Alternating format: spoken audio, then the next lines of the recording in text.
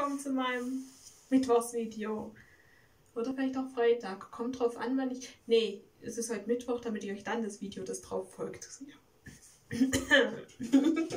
ich habe gerade überlegt, wann ich das mit dem Reinigungsdings zeige. Ja, gut. Ähm, ja. Heute ist bei mir Samstag und wir sind jetzt tatsächlich an einem Punkt angekommen, wo ihr dieses Video, wenn ihr das seht, ist es drei Wochen schon her. Krass, oder? Ja, auf jeden Fall habe ich das Gefühl, dass meine Kamera schief ist. Sekunde. Es ist nur ein Millimeter. Jetzt passt es. tut mir leid. Ja, auf jeden Fall, ähm, ich habe euch mal wieder eine leichte Themenwoche. Eigentlich sind sogar jetzt tatsächlich, bin ich an einem Punkt, wo wir mal zwei Themenwochen machen sollten, müssten, sollten, dürfen, sollten. ja, Manu. Ja, ich hatte heute Besuch von einer meiner liebsten Lieblingstanten und wir haben so miteinander geredet und sie hat gerade ein Problem am Knie. Meine Mutter hat mir früher als Kind immer so ein Lied vorgesungen, das hieß Lass mein Knie Joe. Und immer wenn ich Knie sage, muss ich automatisch an Joe denken, obwohl ich nicht meinen Joe kenne. Ja, auf jeden Fall ist es jetzt so, dass bei ihr wohl ein Band gerissen ist in der Kniescheibe und es muss geflickt werden und danach ist sie sieben Wochen lang erstmal auf Hilfe angewiesen. Und sie findet das unerträglich. Und dabei ist mir aufgefallen, ich verstehe warum. Ich verstehe komplett warum. Und ja, darüber wollte ich so mal ein bisschen plaudern. Also ich bin jemand, ich habe Phasen in meinem Leben, da brauche ich meine Mutter mehr als wahrscheinlich die meisten kleinen Kinder. Die sind dann selbstständiger als ich in dem Moment. Jetzt hüpft mein Hase freudig rum, das glaubt man echt nicht. ja, auf jeden Fall brauche ich sie dann eben viel mehr und ich brauche viel mehr Unterstützung. Und teilweise kann ich aber auch nicht sagen, was ich möchte oder was ich brauche. Und ich bin ja jemand, ich habe das schon, boah, ist ja schon über zehn Jahre, krass, ne? Überleg mal, über die Hälfte meines Lebens bin ich jetzt schon ein Asperger. Das ist krass, wenn man sich das mal so überlegt, einfach so im Kopf. Auf jeden Fall ist es so, dass ähm, ich dann auch schon über die Hälfte meines Lebens auf eine Hilfe angewiesen bin. das ist auch krass. Auf jeden Fall geht's dann so, ist es ja so, dadurch, dass ich so ja, in Anführungszeichen oft diesbezüglich Problematiken habe, bin ich jemand, der sich dann auch die Hilfe annehmen kann. Aber ich bin auch furchtbar stolz. Also in diesem Punkt bin ich, habe ich einen Stolz, der unnötig ist. Und dann versuche ich mir das Gefühlsbrot aufs die, also das Brot, die Butter aufs Brot zu schmieren. Dabei schmiere ich eigentlich dann das Brot auf die Butter. Also es funktioniert dann überhaupt nicht. Aber ich würde dann in dem Moment auch nicht meine Mutter fragen wollen nach Hilfe, wenn ich dann immer so, so mega mich freue über jede Kleinigkeit, die dann wieder geht. Aber zum Beispiel habe ich oft so die Angewohnheit, ich schütte gern Getränke ineinander.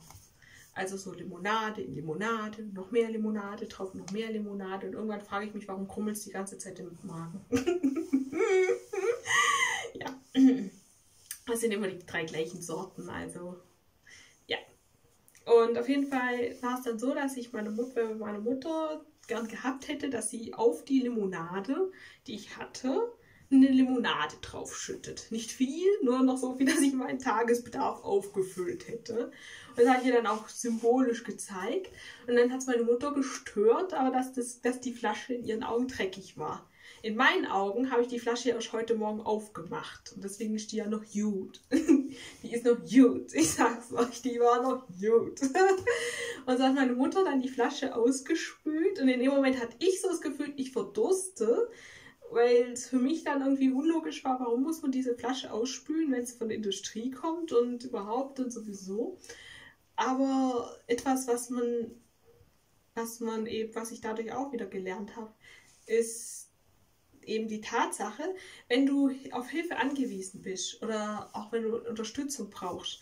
Und das hat meine Tante mir heute bewusst gemacht, mal wieder, weil, weil das ist was, was man gerne vergisst ist es dann nicht so, dass du dann sagen kannst, wie du gern die Hilfe hättest, weil jeder hat ja seine Arbeitsabläufe.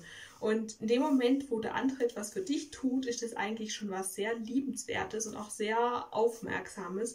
Und wenn du dann auch noch dahin stehst und sagst, ich möchte gerne, dass du die Tomaten drei Viertel viertelst und zwar in, das aber nur von rechts nach links. dann ist der andere doch genervt ohne Ende. Und dann sagt er beim nächsten Mal, wenn du Hilfe brauchst, und vielleicht brauchst du dann wirklich dringender als in den Momenten, sagt er dann, ja, nö, vergiss es, ich bin nicht da. Also an alle von uns da draußen, uns Asperger oder auch andere Leute, die Probleme haben und einfach gerade Unterstützung und Hilfe brauchen, mein offizieller Appell an alle, seid nett und lasst den anderen das in seiner Art machen. Und im Zweifel, wenn es euch dann besser geht, könnt ihr ja immer noch wieder dann so machen, wie ihr es braucht. Oder zum Beispiel, wenn jemand für euch was einräumt, dann ist es erstmal wichtig, dass es einfach nur eingeräumt ist. Und wenn es dann nicht danach nach eurem Geschmack eingeräumt ist, könnt ihr es ja später selbst wieder umräumen. Aber lieber einen Schritt mehr selber getan, als dem anderen zu viel auf die, Last gegangen. Meine Mutter nickt da jetzt so voll. Ja, sie hat's verstanden. Aber das ist so die Erkenntnis, die ich durch dieses Gespräch heute gewonnen habe. Und ich dachte, ich möchte die einfach euch drei Wochen später auch noch mitteilen.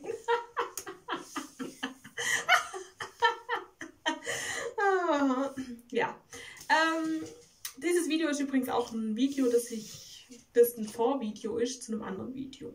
Also da ich euch, da ich ja viele Dinge von meiner Mutter lernen muss mit dem Sozialen und auch praktische Sachen teilweise, gibt es bei uns oft Übungsstunden. Und ich dachte, beim nächsten Video werde ich euch, hey, du was, ich bin voll des Genius, ich schnippel diesen Teil einfach dann nachher nochmal dran ans, ans nächste.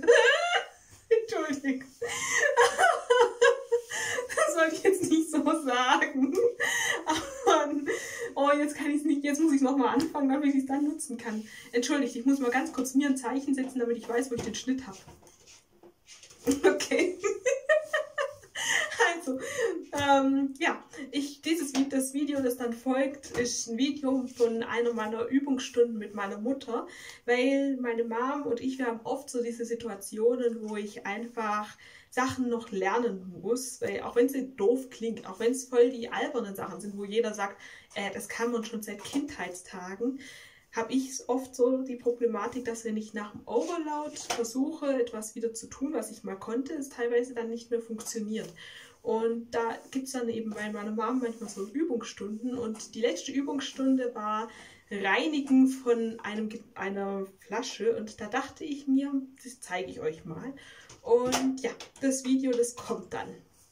So, jetzt muss ich mir nochmal ein Zeichen setzen, damit ich weiß, wo ich nochmal den Cut setzen muss. ja, natürlich geht halt nicht anders. Damit müssen wir jetzt leben. Ja, und das war alles für heute. Schreibt mir mal gerne in die Kommentare, wie ihr das seht. Und ihr könnt mir auch gerne auf Twitter oder Facebook schreiben oder eine E-Mail an die bell.tweetoutlook.com. Und falls es noch nicht jedem aufgefallen ist, meine Hand geht wieder. Sie geht wieder. Ihr wisst gar nicht, wie ich mich auch freue. ja, das war alles. Ich wünsche euch eine schöne Zeit. Bis zum... Ja, das Video ist ja schon gedreht, also für mich dann sogar, nee, für euch nicht, also bis Freitag. bis denn, ciao.